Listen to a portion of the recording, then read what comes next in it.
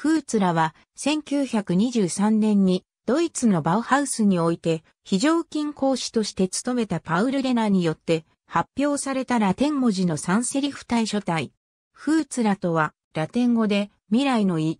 フトゥーラがラテン語や西欧書語の発音に最も近く、カナ表記には他に、フツラ、フツーラなどが見られる。つの音節の U のみが超音であるため、厳密には、フーツラという表記は、原音からすると誤りであるが、日本ではこの読みが幅広く浸透している。いわゆるジオメートリックサンセリフの一種で、幾何学的な造形が特徴的である。現在でもよく用いられているサンセリフの一つで、ルイ・ヴィトンのロゴ等にも使用されている。一時期、ナチスドイツを連想させる書体であり、使う文化圏には注意を払った方が良いと日本で言われたことがあった。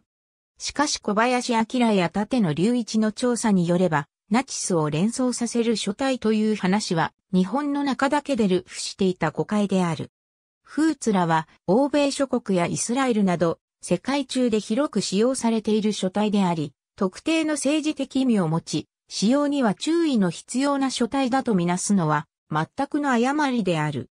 むしろ、フーツラの制作者レナはハンナチとして著名な人物であり、レナの務めていたバウハウスはナチ党によって大敗的だとみなされ迫害を受けた側にあたる。フーツラで書かれたボーイング747のオートパイロットコントロール。フーツラは航空宇宙産業において飛行景気及び制御マーキングのために広く普及している。ありがとうございます。